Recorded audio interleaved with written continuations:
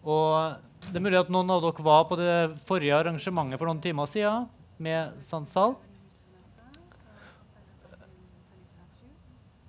Da snakka han litt om sitt tidligere forfatterskap og om hvordan Og om hvordan han har uh, ytra seg mot fanatisme og islamisme. Men den, den, boka som vi har her, i 2084, foregår i et fiktivt framtidssamfunn. Og Tittelen henleder oppmerksomheten på en av de mest kjente dystopiske bøkene som vi har, altså 1984 av uh, George Orwell. Den boka skildrer jo et samfunn der eh, partiet og apparatet bestemmer alt. Og der de har et eh, eget språk og der det ikke er lov å tenke sine egne tanker. Og alle må delta i sånn offentlige ritualstund.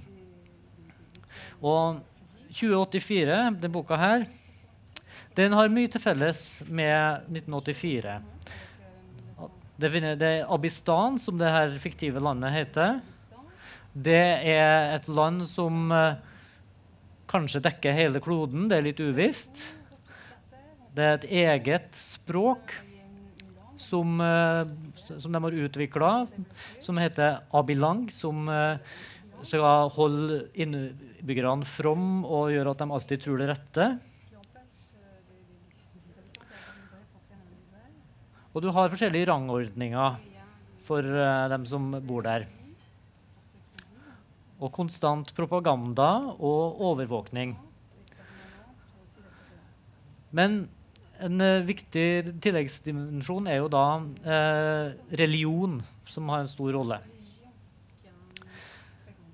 Så jeg tenkte jeg kunne innlede med å spørre Sansal om å beskrive sitt eget forhold til 1984 av Orwell, og forklare litt om hvordan denne den boka her bygger videre på 1984 sine ideer, og hvordan den er en oppdatering for vår tid.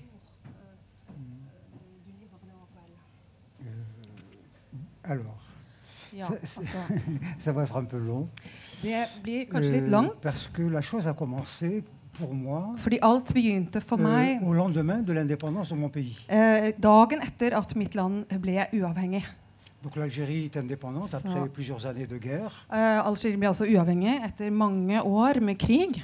Et, et donc, euh, voilà, l'Algérie est indépendante, la liberté, euh, le bonheur. så hadde vi frihet, voilà, lykken, drømmer. ça. Eh, Det var sånn vi så på uavhengigheten. Et, puis, et dans la réalité, ça ne se passe pas du tout. Og i virkeligheten så er det ikke sånn det foregår. Dans la réalité, ce qu'on voit, c'est la police omniprésente. I virkeligheten så hadde vi plutselig et allestedsnærværende politi. C'est le parti qui contrôle la société de Og det er près. partiet som eh, kontrollerer mm, veldig nært eh, hele samfunnet. C'est une propagande permanente Og det er en eh, konstant qui propaganda. occupe les journaux, la télévision, I la radio. TV, radio, aviser etc.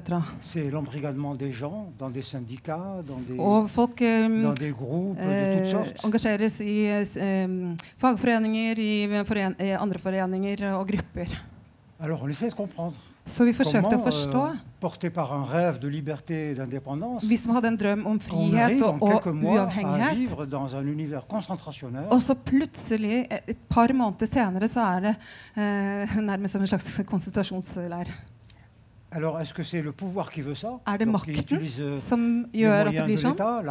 Man police, bruker altså dette, alt la radio, eh, det staten eh, disponerer eh, av midler, som presse, som det militære eh, osv.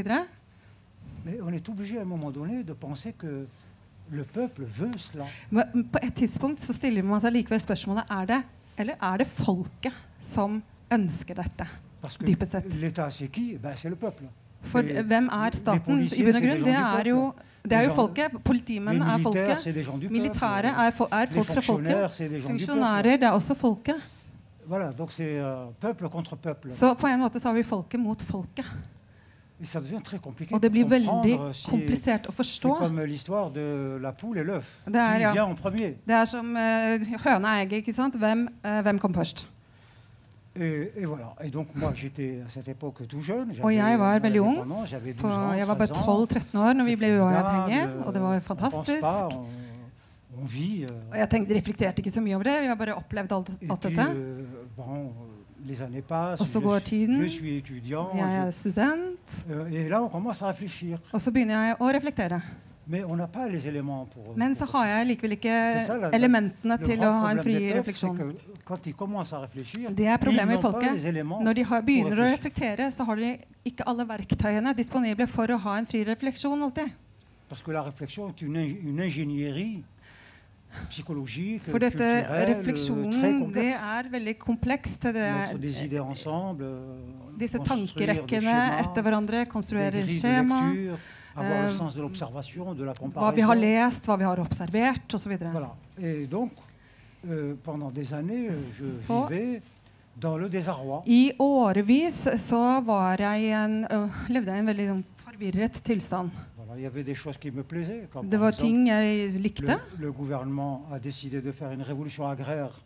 For eksempel så bestemte regjeringen at det skulle være en jordbruksrevolusjon. les, les terres For eksempel så ville de, de tok eh, det la rike folkets applaudere, eh, jord og ga det til de fattige. Det ønsket vi jo å applaudere. Men-. Men resten av det, det forsto vi ikke helt. Euh, Så på en måte så er det da bøkene som gir oss forklaringene. Så lese, leste, lese, lese, leste, lese. leste, leste, leste, leste. Et puis, parmi les livres qui m'ont vraiment Og blant de bøkene som virkelig opplyste meg på den, liksom, den helt intime funksjonen til diktaturet eh, med kompleksiteten, kompleksiteten. euh. Ingen diktaturer kan fungere hvis ikke eh, publikum er en medsammens... Eller offentligheten eller folket er en medsammensvoren. Euh, Og det forklarte Orwell veldig godt i alle bøkene sine. particulier Men spesielt i 1984. où on voit comment cette, ce, théâ- ce théâtre bizarre Hvor vi ser dette bisarre teatret euh, utspille seg. Også de rettferdiggjøringene som eh, oppstår. Helt frem til øyeblikket hvor tanken på opprør er umulig. Ja. For vi er helt underkastet, de- undertrykket vi, er av alle disse midlene som eh, staten disponerer. Ja, for vi er ikke i stand til å samtidig gå og observere oss selv i ferd med å gå. Voilà, donc j'ai repris euh, euh, Så ja, 1984 après l'avoir lu. euh, etter å ha lest j'ai commencé à 1984 så begynte jeg å studere den nærmere. Og se hva som var overførbart. Det kan ikke overføres eh, helt, fullt og helt. Fordi George Orwell a écrit son livre dans les années 40, han, han skrev jo denne boka i sånn Den ble utgitt i 1948. Eller ja, 44, mellom 44 og 48. euh, Han observerte kommunismen og stalinismen som eh, måtte, tok makt over folket. Og ofte veldig kultiverte eh, folk. Og fri, et frie, intelligente, eh, kultiverte. og euh, voilà. Alors, bon, Så kommunismen ja, Stalin døde, kommunismen Euh, eh, ble opp, oppløst. Og folkene har jo ikke, ikke egentlig fått en frihet. De har blitt eh, overtatt av andre ting. Men jeg var konfrontert med noe som var euh, ganske spesielt. euh, Han Orwell observerte en ideologi som er skapt av mennesker. Men i islam så er dette en ideologi som er eh, påfunnet eller skapt av Gud. L'islam, euh, For, islam så er Koranen Guds ord. euh, Så det er et diktatur som ja. Veldig komplisert. Veldig, veldig komplisert. Euh, voilà, alors et en plus, euh, Og så har vi i tillegg det at det euh, islam har utviklet seg på en- mot islamismen og salafismen. euh, Ja. ça a donné des 1400 Så eh, jeg endte opp da med å, å skrive denne boka eh, 2084. Tusen takk for det. Eh, nå skal vi eh, etter hvert flette dette litt sammen, men uh, nå vil jeg òg gå over til Bjørn Patne her. Men i første omgang Aldous Huxley, som ikke er i dag, men uh, som skrev 'Brave New World' på 30-tallet. Og den er jo kjent som en av de andre store bøkene, i tillegg til 1984, i dystopitradisjon. Eh, du kan nesten si at de to er som Beatles og Rolling Stones. Og i, mens 1984 har en veldig sånn autoritær tvangsmodell, så har Brave New World en annen modell hvor folk blir stimulert. De eh, får narkotika fra, som heter Soma, som gjør at de føler seg bra. De får, eh, strøm, de får eh, gå på sånne sansekinoer hvor de opplever stimuli. Og de får ha så mye gruppesex de bare vil. Sånn at de er veldig fornøyd med sin egen ufrihet. Og de blir jo kondisjonert gjennom hele oppveksten til å elske sin egen tilværelse. Så alle lever i ufrihet, men alle er ganske fornøyd. Nesten. Og Bjørn Vatne har skrevet en bok som heter 'Nullingen av Paul Abel'. Som, er, som jeg leser som en slags oppdatering av Brave New World for internettalderen. Hvor han skildrer et samfunn som er ganske sånn, gjenkjennbart som Norge i dag, egentlig. Bortsett fra at alle ikke bare har en eh, mobiltelefon i hånda, men de har òg internett plugga rett i hjernebarken. Sånn at de hele tida strømmer innhold direkte fra nettet. Kan delta i sexorgier eller strømopplevelsesturer til det fjerne Østen, eller gjøre omtrent hva som helst. Og, og får hele tida reklame rett inn i hodet for all mulig produkt. Og sånn sett så minner det ganske mye om eh, bare en satire over det samfunnet vi allerede lever i i dag, hvor vi er fullstendig omgitt av disse medieinntrykkene og lever i overflod og er ganske fornøyd. Men så tar det da en vending i ditt uh, univers. Og det kan det kanskje du ta over sjøl. Mm. Eh, jeg må bare si det før jeg glemmer det, så har jeg bare lyst til å kommentere litt det eh, Wolem Sansal sa om en opplevelse av å mangle verktøy for å tenke. Og mitt utgangspunkt for å skrive denne boka her kan jo umulig sammenlignes med det utgangspunktet han hadde. Eh, likevel så begynner den for meg med en opplevelse av å bli frarøva helt essensielle verktøy for å forstå verden omkring meg. Eh, fordi jeg sitter midt i en kultur som blir så ensretta og styrt, der jeg kan og ser og leser det samme som alle andre rundt meg. Takket være veldig sterke markedskrefter som er i stand til å faktisk styre hva jeg skal ønske meg i livet, og hva jeg skal konsumere av kultur og, og sanseinntrykk, faktisk. Eh, så den, det, det var på en måte min opplevelse av å, å, å, eh, å mangle språk, å bli fratatt språket for å forstå verden omkring meg.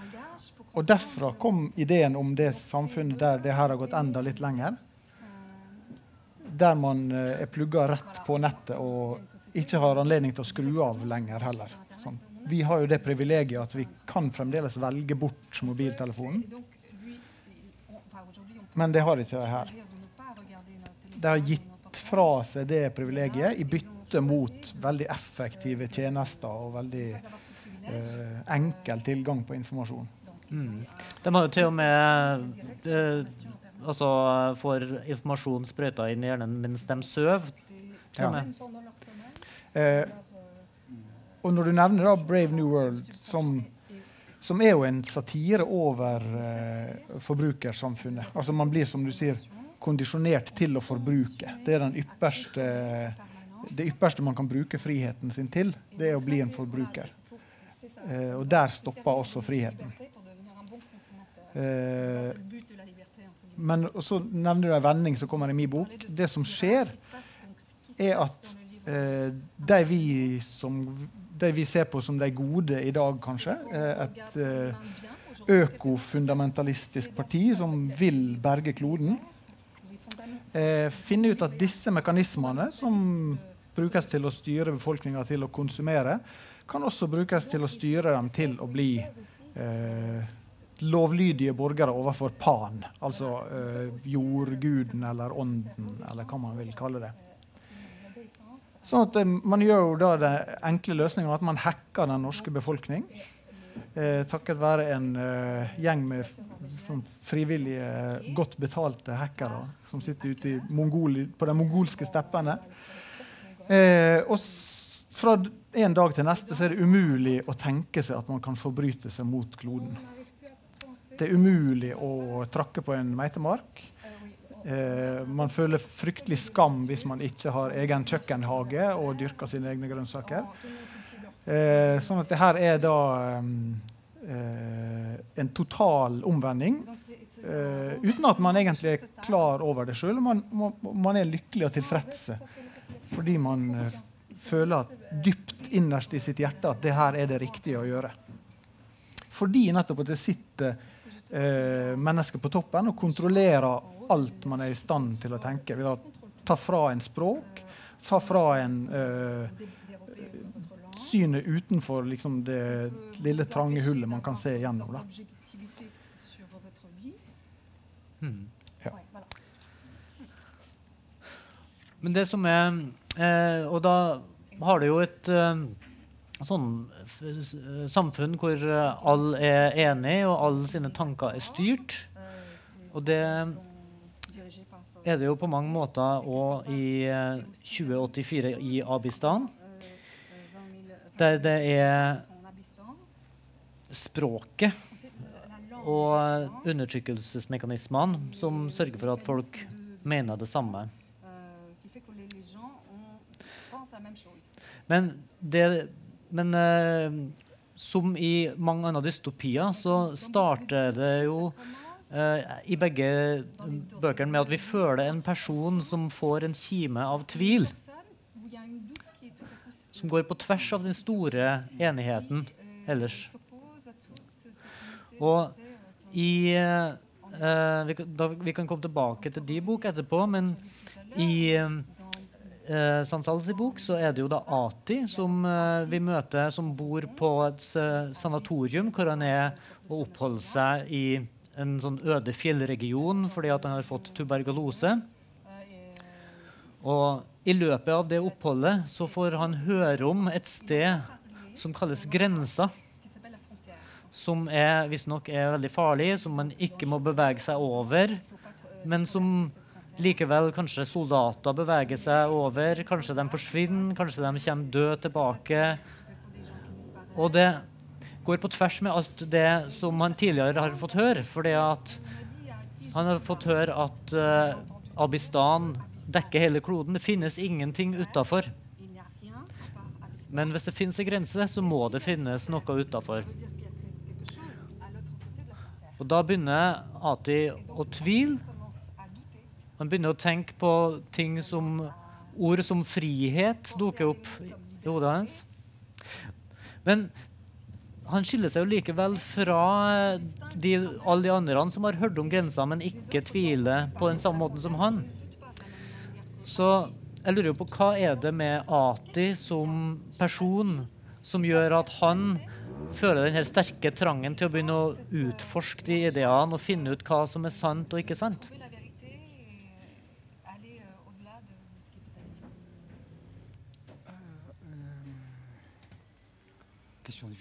Og det var et vanskelig spørsmål. Euh, euh, Altså, euh, Totalitære systemer det, der har, det, Vi er liksom i, i et mekanisme som ikke har noen slutt. Første etappen er ganske lett. Først og fremst så blir kroppen din tatt. Donc, on, Det er ganske enkelt. la police, la bureaucratie, Politi, le byråkrati osv. Du er lukket euh, inne i et system. Men så er det noe dictature la plus, la plus, la plus parfaite Som det mest perfekte diktaturet ikke kan kontrollere helt, og det er hjernen.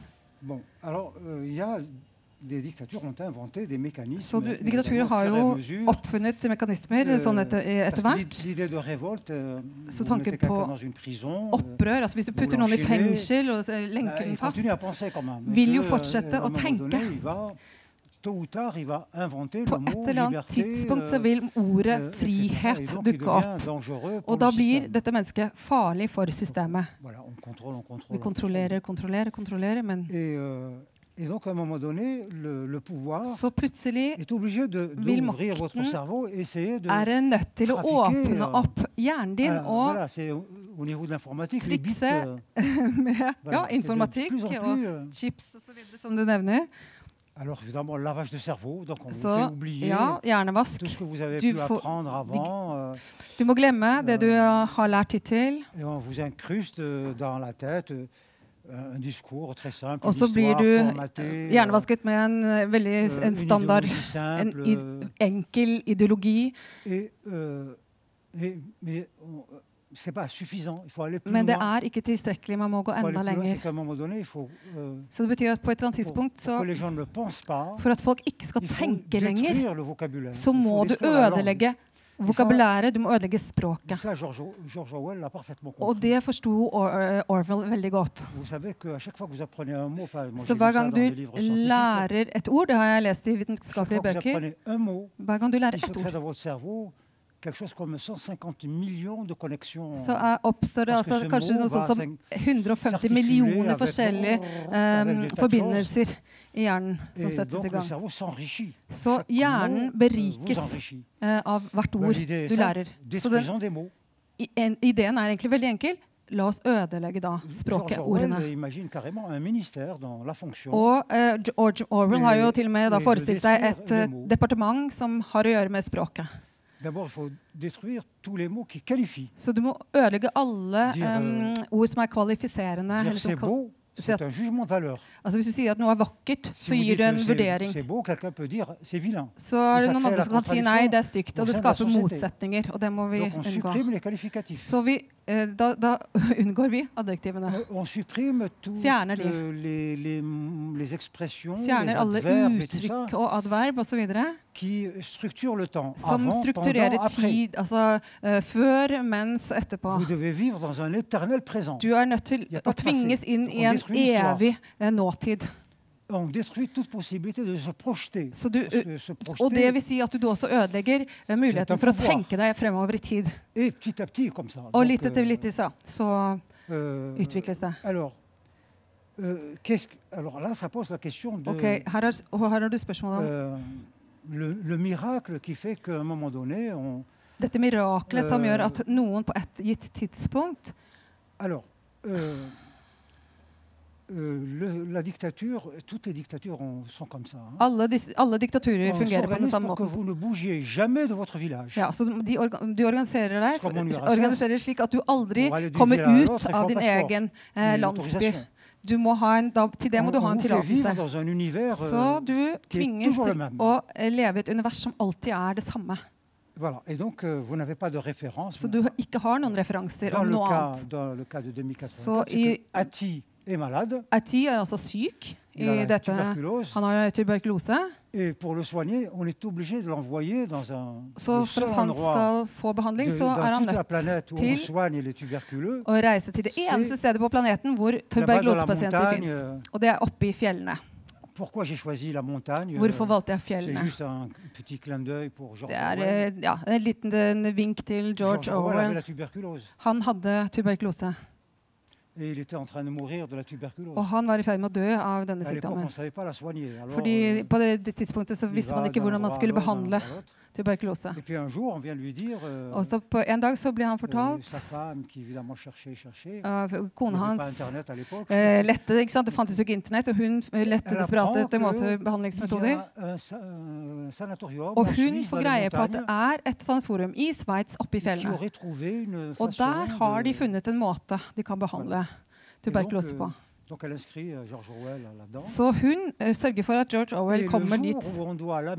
Og den dagen man skal ta han med til Sveits, så dør han. Så jeg sa til meg selv OK, jeg har på en måte lyst til å ressusciter gjenopplive George Orwell i denne boka. George Orwell, en realitet, ça, ça, euh, euh, Arthur. Ja, kanskje Arthur. han kunne hett Arthur. Og et, et donc, Så jeg euh, forestiller meg Ati, Ati. som Ar- Arthur. Ja, at han er også syk av tuberkulose. euh. Og at han blir tatt med til dette sanatoriet. Og her vil han jo eh, møte det han aldri har sett i sin egen landsby. Han vil se an andre mennesker, eh, annerledes mennesker. Ja, du har folk som kanskje aldri har reist utenfor Lillehammer. Så blir du plutselig tar de med til Sør-Afrika, og de ser svarte for den første gang. Så hva i all verden er dette eh, ils viennent Er Et dette aliens? Så der finner du den lille, lille Eh, åpningen inn. Ja, og du ser at den andre er annerledes. Det er et annet språk, osv. og. Og ja, har ikke den samme oppdragelsen som de. Og da begynner den, dette, denne mekanismen å sette i gang. euh, Men der hvor det begynner å bli euh, komplisert le fait de trouver Selv om du finner noe, så betyr det ikke at du gjør opprør for det. Du kan forstå situasjonen og si OK, greit. Så det er overgangen til opprøret. Må kanskje, euh, ja, vi. George Orwell snakker også om det, men da kan vi heller gå tilbake til Camus. euh, euh, På et tidspunkt så er opprøret mulig kun euh, hvis du har en slags klar bevissthet om det absurde i situasjonen. Camus manière. analyserer dette på den, den Øh, måten. På et tidspunkt så oppdager du at noe er absurd i den situasjonen. At eh, menneskelivet en er absurd. Og det skaper eh, opprøret. Så opprøret er fortsatt veldig negativt. Så i neste etappe så må vi inn i revolusjonen. Euh, voilà. euh, Ja. à partir de là, euh, George, euh, George Orwell et enfin 1984, 2004 divergent. Altså, de- på dette, dette punktet så er eh, George Orwell 1984 og 2084 une forskjellige. Qui est possible chez les humains, c'est qu'à un moment donné, På, Wilson, donc euh, les héros, euh, le Hattie de, ja, altså, eh, Orwells eh, hovedkarakter han oppdager noe som er forbudt, som partiet hadde visket ut. Il découvre l'amour. Il découvre l'amour. L'amour. Han oppdager kjærligheten med en kvinne. Han oppdager Julia. Et l'amour agit donc comme révélateur de. Og kjærligheten eh, blir som en sånn oppvåkning. Euh, Gir han en oppvåkning. Så eh, opprørets motor er kjærlighet. Donc, à partir de là, euh, George Orwell va dans une Og her går George Orwell i én retning, og jeg går i en annen. Fordi i det muslimske universet il n'y a d'amour que pour Dieu. har man ikke kjærlighet for noe annet enn Gud. la, la Så begrepet kjærlighet mellom mennesker eksisterer egentlig ikke.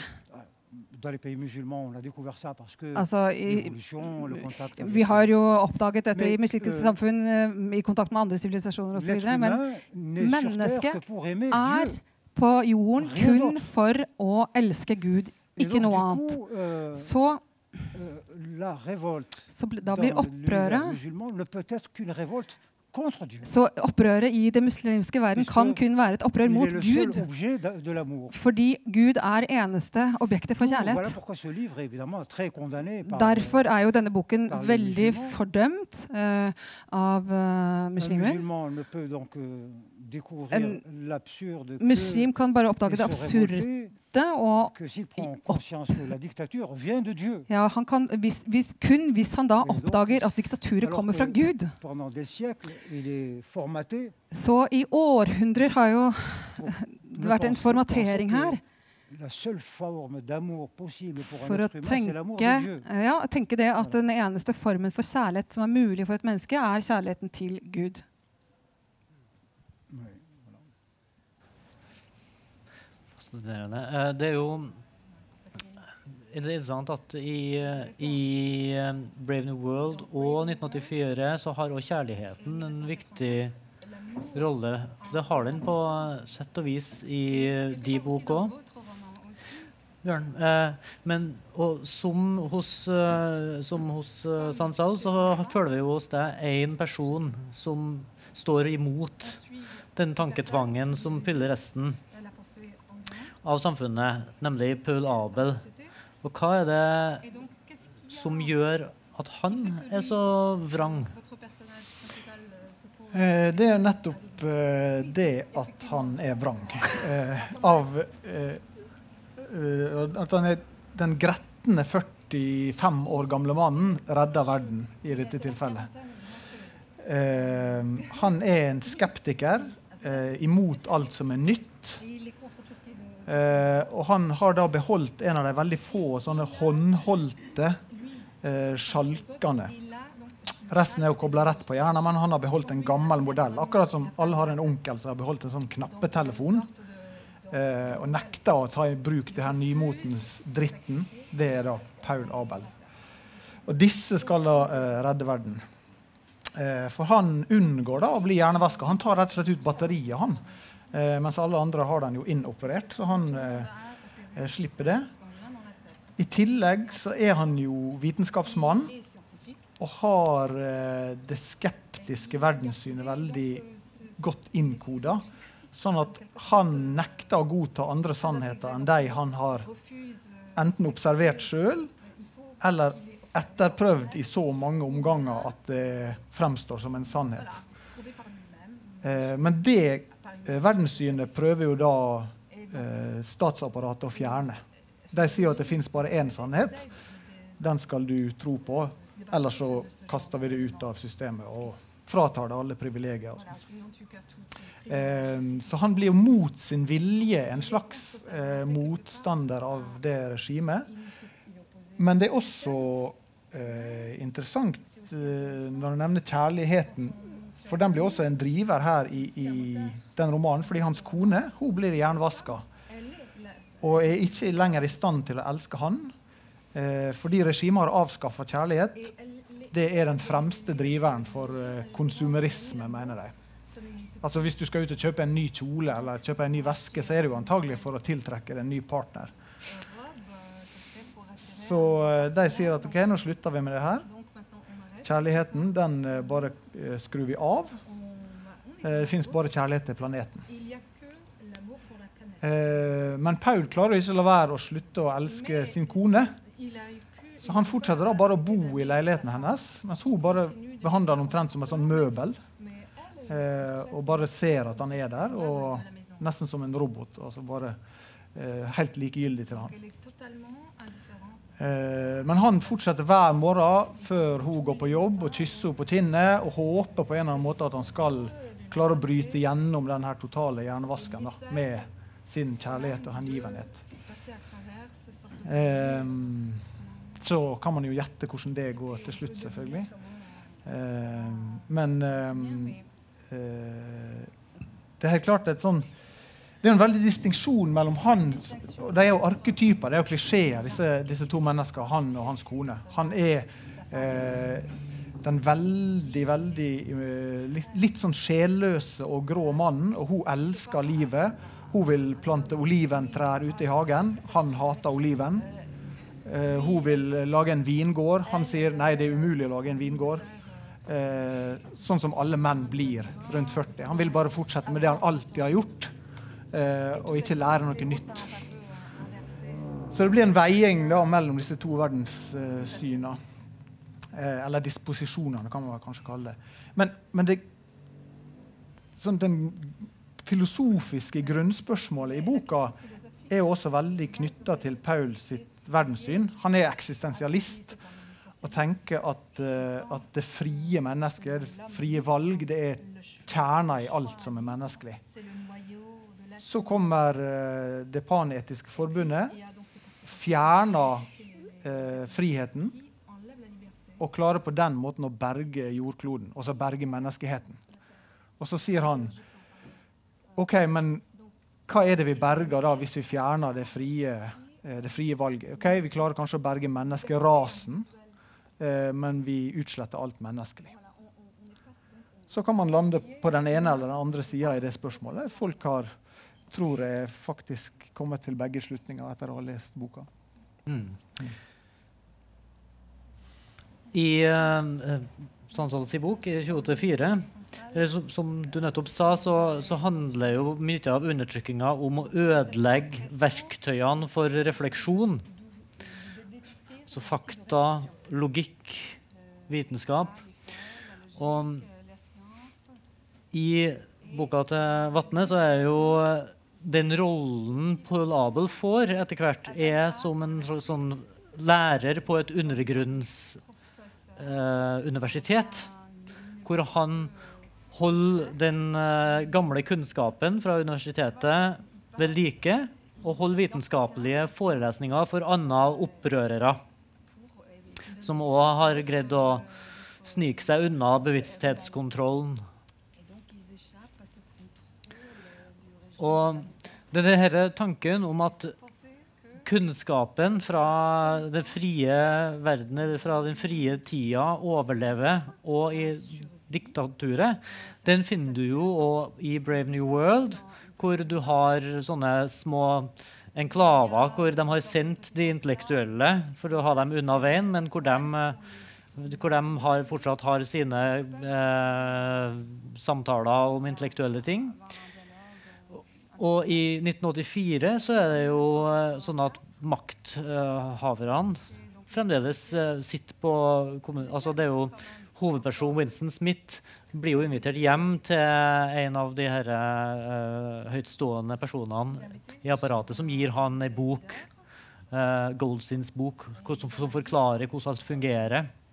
Seg, men det viser seg jo at han er, han bare, han er en, makt, en, av makthaverne og bare lurer Winston med. Men det viser at kunnskapen fortsatt finnes rundt omkring. Og det er jo interessant i 2084 at det viser seg etter, en stund eh, etter at Ati har lagt ut på sin ferd gjennom eh, byen for å finne ut sannheten, så møter han en person som heter Toz. Og Toz viser det seg Han har kunnskap om verden som fantes før.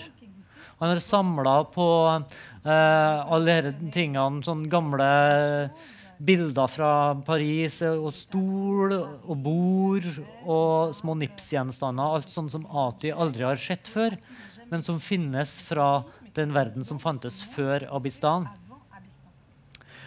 Men det er jo et paradoks da, at uh, Toz viser det seg er òg en av de uh, makthaverne, en fra apparatet. Samtidig som man har vedlikeholdt den kunnskapen som, som Abistan mener at skal være utradert. Og jeg lurer jo på om eh, du har noen tanker om Er det sånn at kunnskapen alltid finner en eller annen måte å overleve til og med i det innenfor det totalitære?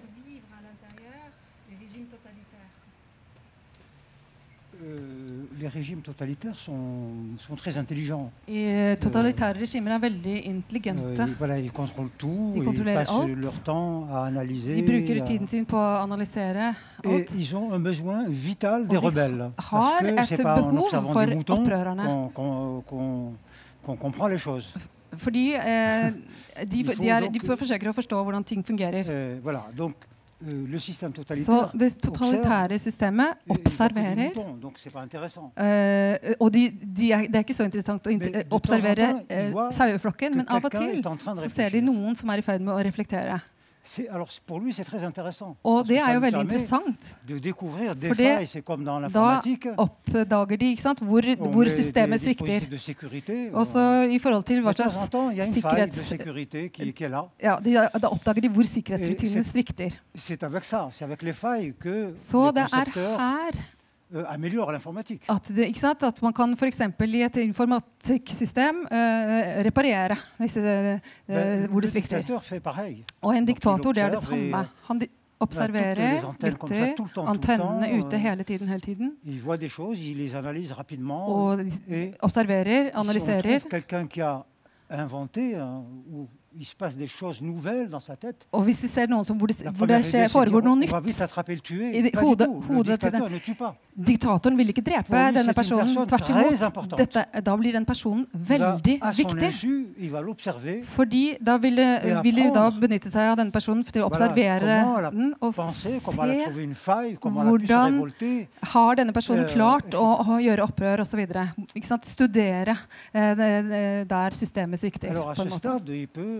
Stade, il peut, une fois qu'il a compris, à ce stade, il peut le tuer. Og når de har forstått hvor systemet svikter, da kan de ta livet av personen. Orwell, quand euh, Så euh, i George Orwell Wilson entre dans ce Wilson går inn i denne opprørsfasen. observé euh, Han blir euh, observert, euh, og så konstaterer de at euh, on ne cherche pas à l'arrêter, mais on cherche à le de forsøker ikke å stanse han, men de forsøker å formatere han. Parce qu'il faut s'en faire un allié. For de må gjøre han, eh, gjøre han til en alliert. Et donc on le soumet à, dans, à une sorte de rééducation. euh, Så han blir altså tvunget til en slags et ja, en tortur og så videre, og, han, og en hjernevask. Il faut absolument qu'il arrive à dire For han må- la- la double pensée. hein, il arrive à dire que 2 plus 2 égale 5. Han må komme til en den konklusjonen at to pluss to er fem. C'est pas- bon. Mm. J'ai- mais, euh, euh, et puis, euh, euh, ensuite, c'est intéressant de, Og så er det også videre interessant de voir euh, s'il a pu contaminer la société. å eh, s- sjekke om han har kunnet Euh, smitte voilà, et resten av donc, il y a un samfunnet. travail à- Så det er jo et, eh, Je et vais vous stort parler arbeid. de ce que le système algérien, la dictature algérienne, Så a- det a- algeriske diktaturet Euh, en 88, en Algérie, il y a eu Gjorde det i 88, hvor det var den eh, sant, arabiske våren, Donc, eh, eller algeriske våren. Plutselig så kom folket ut i gatene, frihet osv. Og makten sa Hva vil dere ha? Vil dere ha demokrati? Oui, Ja. Vi vil ha demokrati, og vi vil ha frihet. Ok. Innen tre måneder så skapte makthaverne 150 politiske partier, 150 C'est-à-dire que des gens eh, aviser. euh, ben, ils, ont, ils ont créé Så. Etterretningstjenesten skapte altså eh, partier og aviser. Så de dekket hele spektrumet. Det ekstrem, ekstrem venstre helt til det he Det helt ekstreme høyre. Og det er, var partier som har skapt hva det hemmelige politiet. Quand, quand vous, euh, vous, vous croyez que vous êtes libre, Så når du tror at du er, er fri, ce restaurant, og så sier jeg, skal jeg gå i Ah den restauranten eller der? Bienvenue, vous venez Ok. chez les services secrets. Velkommen til uh, hemmelige sikkerhetstjenestene. Dette er et parti som er skapt av sikkerhetstjenestene. Så du har egentlig ikke noe sted å gå til. Journaux. Og når det var, avisene var det samme. les, les secrets, Det var folk som jobbet på, for eh, sikkerhetstjenestene. Ils, ont- ils sont sortis et ils ont créé des journaux, 150 journaux. Ja, og de skapte altså l'extrême droite à 150 l'extrême eh, aviser fra ekstreme venstre til ekstreme høyre. Så du hadde en illusjon av frihet. Avez- 15 journaux tous les jours. Kanskje du kjøper 15 aviser per dag, og du har alle mulige eh, meninger uttrykt. Hva skjedde? Etter disent seks måneder så sa plus de algerierne nei, dette har vi orker ikke med demokratiet, det må vi slutte med. euh. Plutselig så hadde folk forskjellige meninger om alt. Voilà. C'est comme ça que les gens, ils ont commencé à regretter Staline. à Og de begynte da å lengte etter Stalins Et- et on eh, epoke. Ok, vi må tilbake til det regimet når vi hadde ett parti og én avis og en eh, TV-kanal. Da fungerte alt, men nå fungerer jo ingenting lenger. Euh, Så- Diktatur det er noe ja, veldig difficile, Et annet aspekt som er veldig vanskelig, det er Euh, a, a beaucoup travaillé sur ça. Og Camus har jo også jobbet mye med dette. Ja, Frigjør vi oss eh, individuelt eller kollektivt? Individuelt så kan vi jo gjøre det.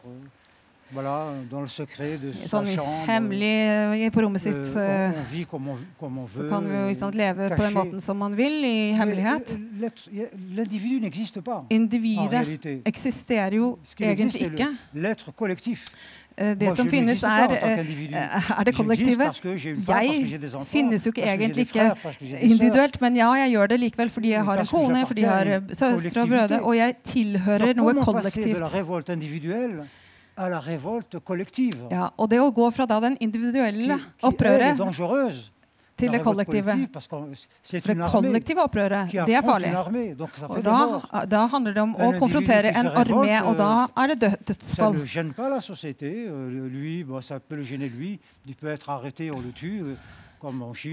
euh, euh. Ja, ikke sant?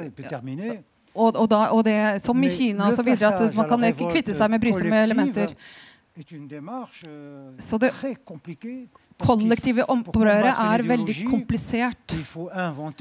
Fordi skal du bekjempe en ideologi, så må du også eh, erstatte det med noe annet. En annen ideologi.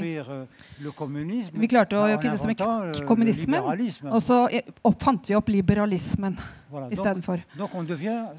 Så vi- Da blir man selv en ideolog.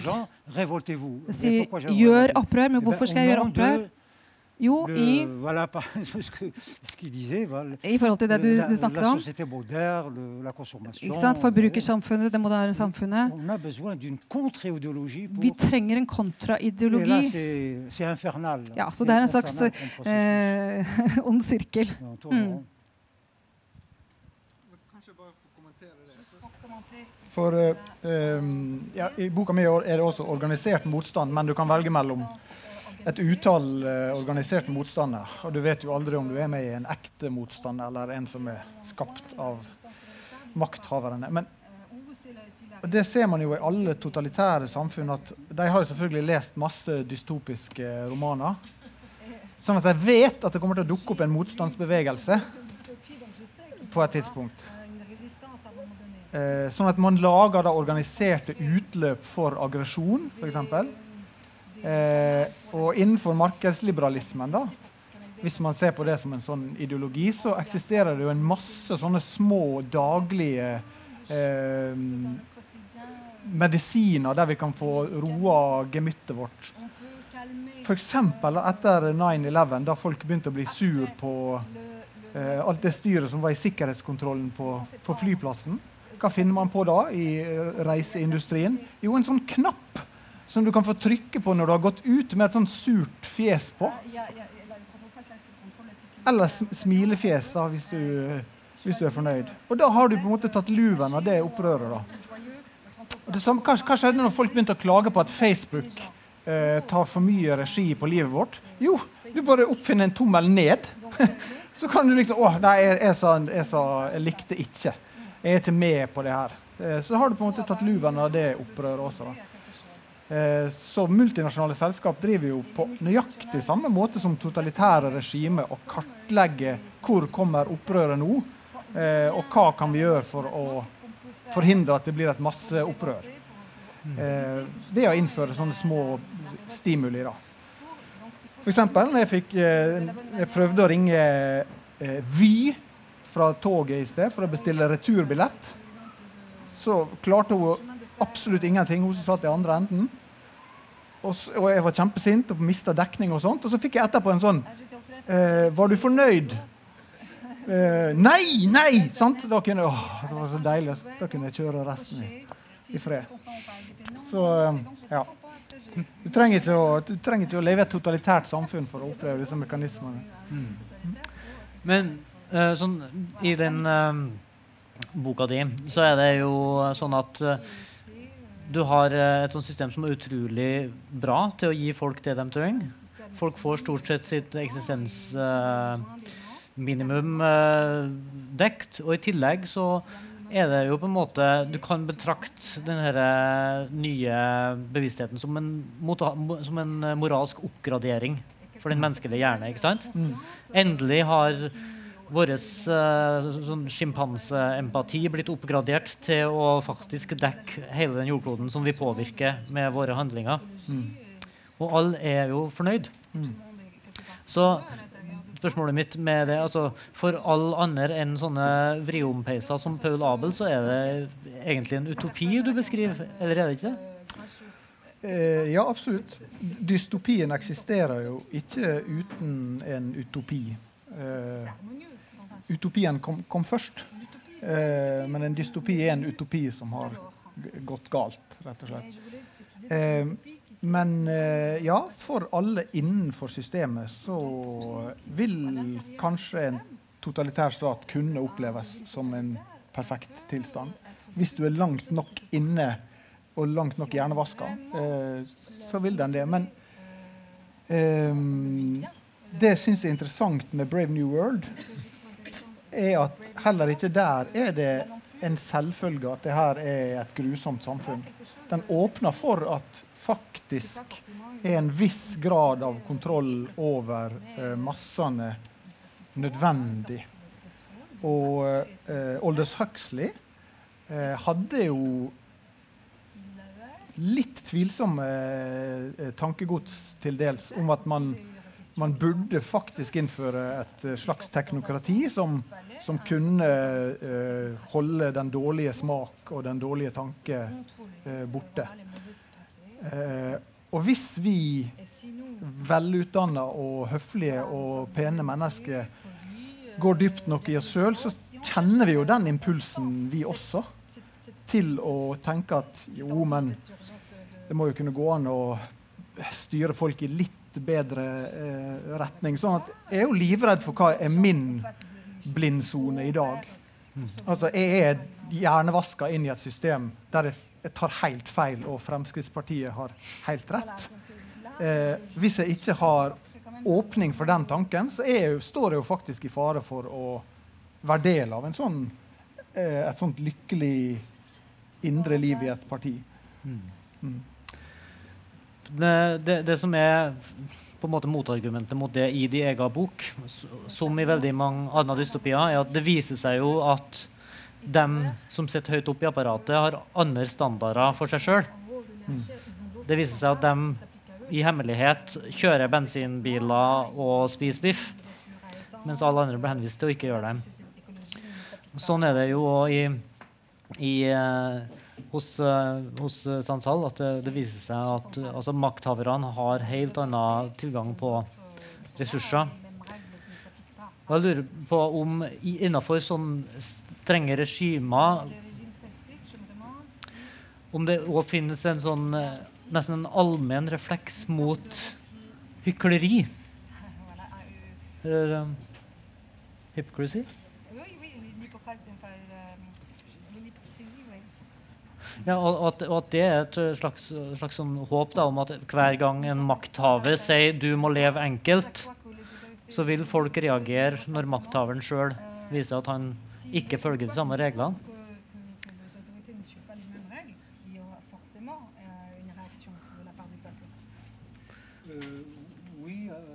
Forcément euh, c'est un spectacle. Le peuple observe les. euh, Ja, det er jo en forestilling altså, Folket Euh, observerer jo styresmaktene. Det er jo et euh, teater, dette. Det og styresmaktene de spiller den rollen for å forføre folket. euh, Så på en sånn euh, måte så vil de få folket til å Ah, drømme. Euh, eux. Slik at folket drømmer Å, jeg skulle ønske at jeg var som dem, for å ha en bil osv. Spise som dem og leve som dem.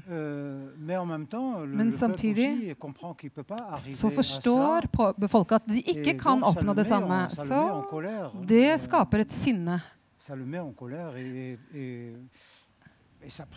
euh, Og det framskynder. Det framskynder jo Euh, eh, Algérie, opprøret. euh, aujourd'hui, Og I Algerie i dag eh, Opprøret euh, vesentlig grad kommer fra det, eh, det, det faktum at oligarkene har overdrevet.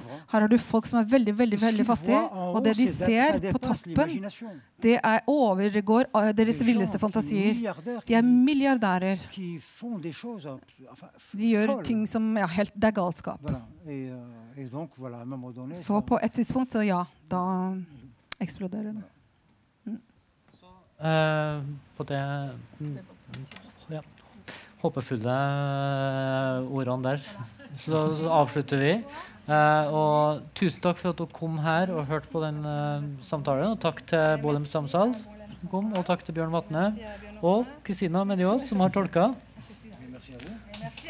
Takk, takk.